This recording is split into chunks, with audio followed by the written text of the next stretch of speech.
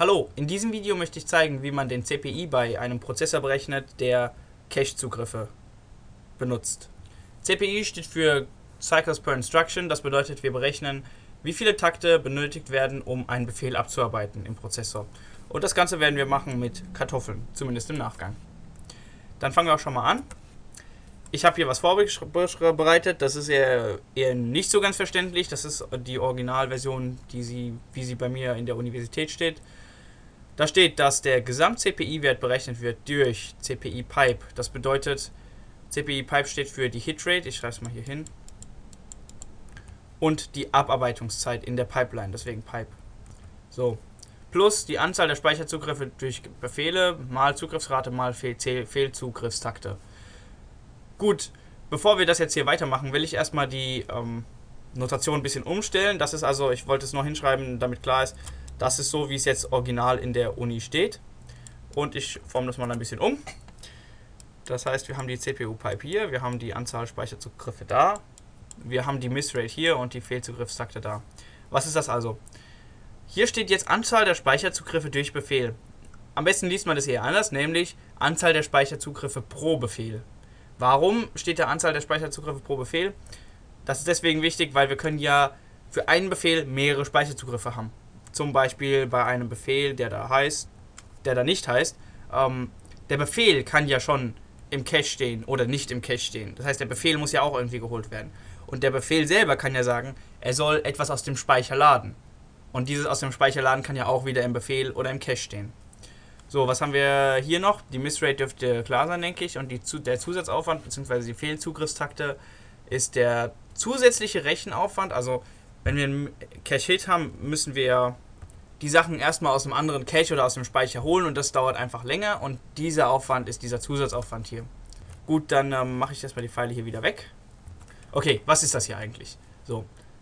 Was mich immer verwirrt hat, war, normal muss man doch für den CPI-Gesamtwert rechnen, die Hitrate mal die Hitzeit plus die Misszeit mal die Missrate. Aber das steht ja hier irgendwie alles ganz anders. So, was steht hier also? Am besten vergisst man diese Formel von eben mal kurz, um das hier zu verstehen. Das, falls ihr damit Probleme habt. So, was ist das hier? Das ist die, das ist der Cache-Hit plus die Abarbeitung. Das heißt, das ist das, was wir brauchen würden, wenn wir immer Cache-Hits hätten. Jetzt ist es aber so, dass wir eine Missrate haben. Das heißt, in x Prozent der Fälle, in Missrate Prozent der Fälle, haben wir diesen Zusatzaufwand. Und ich denke, der Teil ist erstmal soweit klar. Hoffe ich jetzt. Also wir haben die normale Abarbeitung plus in einem gewissen Teil, in einem gewissen Anzahl, in einem gewissen Teil der Fälle müssen wir nochmal das draufschlagen. So, und jetzt, was ist dieser Teil hier? Das ist jetzt nochmal ein bisschen schwieriger gewesen auch der muss deswegen dazu gerechnet werden, wenn wir nur Befehle hätten und keine anderen Speicherzugriffe, wenn nur Befehle da wären, also wenn wir nichts aus dem Speicher laden können, keine Daten oder sowas, dann wäre das die Formel mit diesem Teil hier und diesem Teil hier vollkommen beendet und okay. Aber wir haben ja pro Befehl, habe ich ja eben schon erklärt, können wir ja mehrere Speicherzugriffe haben. Und genau deswegen muss man diesen Teil nochmal einbauen. So, wie kann man sich das jetzt alles vorstellen? Wo sind eigentlich die Kartoffeln in der ganzen Sache? Ich will das mal vergleichen mit dem Kartoffeln pflanzen. Also nehmen wir an, wir haben hier Kartoffeln und einen Boden. Ich habe versucht, dir diese Kartoffeln, die sind ja irgendwie, die sprießen so, habe ich versucht so nachzumachen. So, wir legen jetzt diese Kartoffeln hier in den Boden rein. Das sind zwei Kartoffeln, die wir in den Boden reinlegen. So, und die wachsen und gedeihen und irgendwann kommt dann sowas hier. Das heißt, wir haben unsere grüne Kartoffelpflanze und da unten sind irgendwelche Kartoffeln. Hier sind vier Stück. So, was haben wir also jetzt? Es gibt Kartoffeln, oh, ich wechsle mal am besten noch die Farbe. So, es gibt Kartoffeln, die sind hier ganz oben am Rand. Das heißt, da steche ich mit meinem Spaten oder was auch immer, ich weiß nicht, wie man Kartoffeln erntet, steche ich da rein und hole die direkt raus. Ist also relativ schnell. Jetzt gibt es aber Kartoffeln, die sind hier unten. Und die sind nicht so leicht zu finden. Weil vielleicht, ich wechsle nochmal die Farbe, vielleicht steche ich ja hier oben mit meinem Spaten rein, ich weiß ja nicht, wie groß ich im Vergleich zur Pflanze bin, und steche nur bis hier rein, sag ich mal. So, das heißt, ich muss dann buddeln und buddeln und buddeln und buddeln, bis ich hier bin. Oder muss ich hier buddeln und hier buddeln und hier buddeln und hier buddeln und hier buddeln? Ich weiß es nicht. Ich weiß ja nicht, wo die Kartoffeln liegen. Ich weiß ja nicht, dass sie hier direkt darunter liegt. Sie könnte ja auch hier liegen. Oder sie könnte ja auch hier liegen. Oder hier liegen. Also, der Punkt, den ich hier klar machen will, ist, ups, ich habe hier zwei Orte, an denen Kartoffeln, also mehrere natürlich, aber ich habe hier grundsätzlich zwei Orte. Eine, ein Ort, wo ich relativ schnell zugreifen kann, ein Ort, der relativ langsam braucht. oder der relativ lange braucht, bis ich auf die, an die Kartoffeln zugreifen kann. Das heißt, wir wollen jetzt einfach mal aufstellen, wie lange brauche ich eigentlich, um meine Kartoffeln hier zu ernten. Und das schreibe ich jetzt mal hin. Also wir brauchen auf jeden Fall mal die Zeit um eine Kartoffel. Ich muss ja hier mit dem Spaten rein. Ich schreibe mal das nochmal hin. Ich muss mit dem Spaten rein und die Kartoffel rausholen. Äh, das schreiben wir auch mal hin. Also wir haben Graben oben, weil wir ja oben graben, plus das rausmachen. Also die Kartoffel dann rausholen, wenn wir sie mal ausgegraben haben. So, und darum setzen wir jetzt am besten die Klammern. Also das Graben oben und das rausholen. Das ist also dieser Teil, ich wechsle nochmal die Farbe. Dieser Teil, den wir hier haben, bezieht sich also auf diesen Teil. So, was kommt als nächstes? Jetzt müssen wir noch einrechnen, wie viele Kartoffeln hier unten liegen.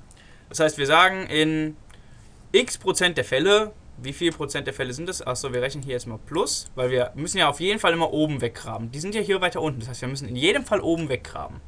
So, und normal liegen die Kartoffeln vielleicht oben, aber in x Prozent der Fälle liegen die Kartoffeln unten. Wie schreiben wir das jetzt mal? Prozentualer Anteil der Kartoffeln, die tiefer sitzen. So, das ist echt mächtig, das Zeug zu schreiben. Prozentualer Anteil tiefer liegender Kartoffeln. Okay? Prozentualer Anteil.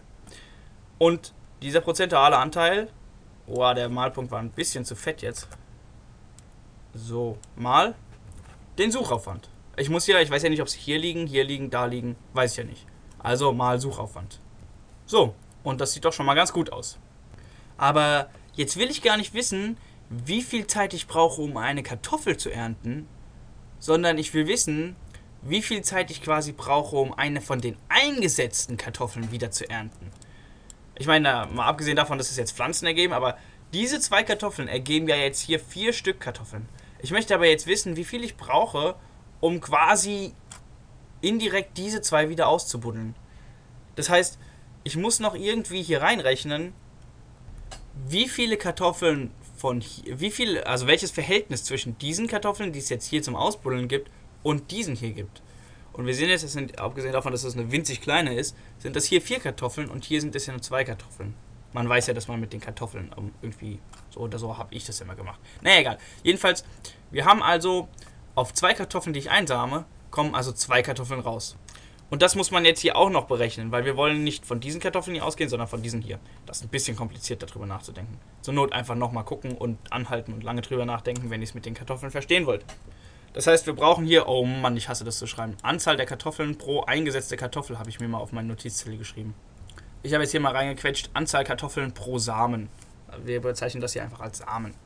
So, und dann kann man das jetzt mal ausrechnen. Im Prinzip, äh, wir könnten auch mal die Farbe wechseln. Also Anzahl der Kartoffeln pro eingesetzte Kartoffel. Das heißt, wir haben vier Kartoffeln pro zwei eingesetzte Kartoffeln. Okay, wir haben den Suchaufwand, der ist dann x. Und wir haben den prozentualen Anteil der tiefer liegenden Kartoffeln. Wie viele liegen hier tiefer? In unserem Fall sind sogar 50% der Kartoffeln, die tiefer liegen. Weil zwei liegen oben, zwei liegen unten. Und dann nochmal die generelle Zeit. Wir bezeichnen das einfach mal als y. So. Und jetzt hole ich nochmal die Formel von vorhin her falls es nicht eh schon jeder gemerkt hat. Dazu wechsle ich aber jetzt nochmal die Farbe zu einem schicken Türkis. So, das Rausgraben, dieses Grundsätzliche, was man immer machen muss, das hier, ist in unserer Formel von vorher einfach der Cache-Hit mit der Abarbeitung. Der prozentuale Anteil tiefer liegender Kartoffeln, das ist die Missrate. Der Zusatzaufwand, das ist der Suchaufwand, den wir hier haben, Und die Anzahl der Kartoffeln pro Samen. Da, wie mache ich denn da den Pfeil? Den ziehe ich einfach mal quer durchs Bild. Der sind die Speicherzugriffe pro Befehl.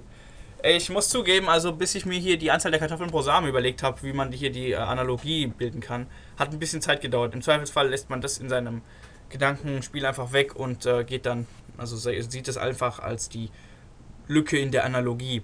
Aber jedenfalls kann man sich das so vorstellen.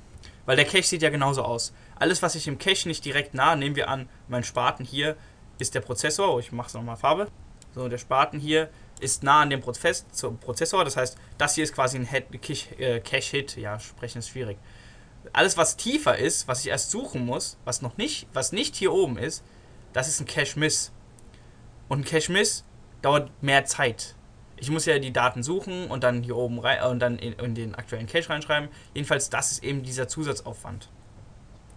Und jetzt diese Sache mit der Anzahl Kartoffeln pro Samen, also das ist wirklich schwierig. Da geht es einfach nur darum, um die Analogie zu bilden, dass ja ein Befehl auch mehrere Speicherzugriffe haben kann. So, und ich hoffe, ähm, war jetzt nicht zu kartoffelig, aber ich hoffe, man hat es trotzdem einigermaßen verstanden und viel